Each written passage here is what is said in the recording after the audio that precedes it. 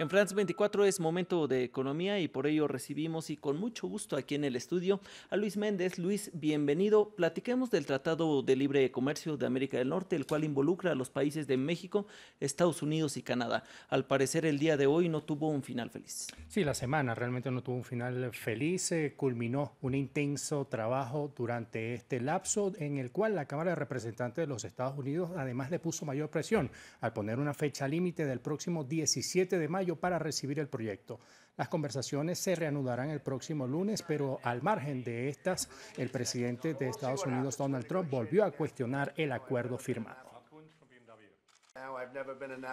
Nunca he sido un entusiasta del TLCAN. Ha sido un negocio terrible para los Estados Unidos, uno de los peores acuerdos comerciales en la historia. Pero ahora vamos a buenos tratos. Estamos renegociando y veremos qué pasa. Uh, México y Canadá no quieren perder el ganso dorado, pero yo represento a los Estados Unidos. No represento a México y no represento a Canadá. Por su parte, el ministro de Economía mexicano Ildefonso Guajardo destacó que no habrá que sacrificar términos de calidad por una pronta firma del acuerdo. Los acuerdos comerciales y las políticas públicas deben ser conscientes de las distorsiones del sistema para ayudar al comercio.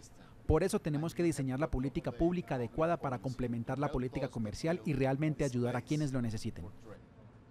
Y precisamente para ampliar más sobre este tema, estableceremos un contacto en Ciudad de México con el profesor José Luis Cruz, quien es director del Instituto para el Desarrollo Industrial y Crecimiento Económico.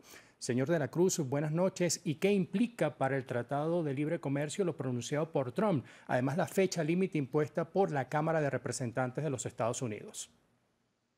Eh, buenas noches, gracias por la invitación. Pues básicamente lo que estamos viendo es el ultimátum que Donald Trump y el propio Congreso de Estados Unidos están ejerciendo en estos momentos sobre México y Canadá. En esencia, evidentemente, es una presión que busca eh, terminar ya con la negociación en el sentido de que ésta culmine con los objetivos que ha planteado el presidente norteamericano. Sin, sin embargo, también es reflejo de que al propio Trump se le acaba el tiempo porque la vía fast track que le autorizó el Congreso de Estados Unidos también se termina y eh, me parece que lo que están buscando es generar una fecha límite para que Canadá y México se vean obligados a ceder ante las pretensiones del gobierno de Estados Unidos, algo que no necesariamente puede ocurrir.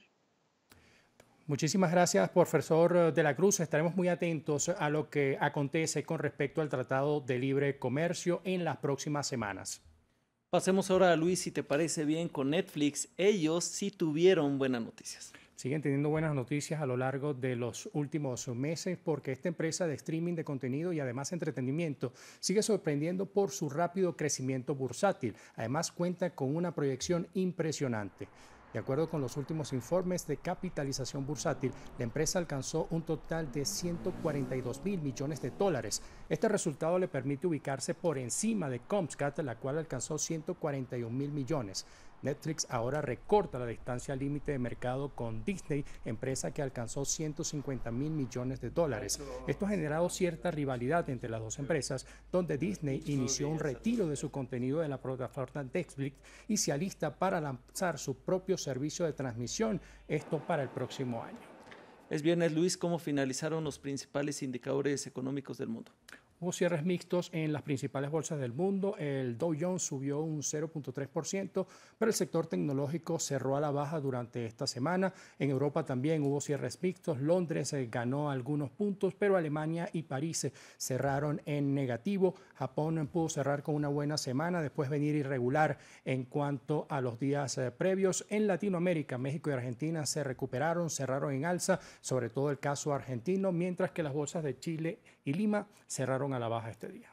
11 de mayo, ¿cuál es la cifra del día? La cifra del día tiene que ver con la empresa Apple y sus 934 mil millones de dólares que capitalizó bursátilmente esta empresa y queda a tan solo 8 puntos porcentuales de alcanzar el billón de dólares. La capitalización bursátil tiene que ver con el precio de una acción en determinado momento multiplicado por el número de acciones que están en circulación. Luis Méndez, te agradecemos esta crónica económica y a todos ustedes los invitamos a continuar con noticias y al momento en france24.com.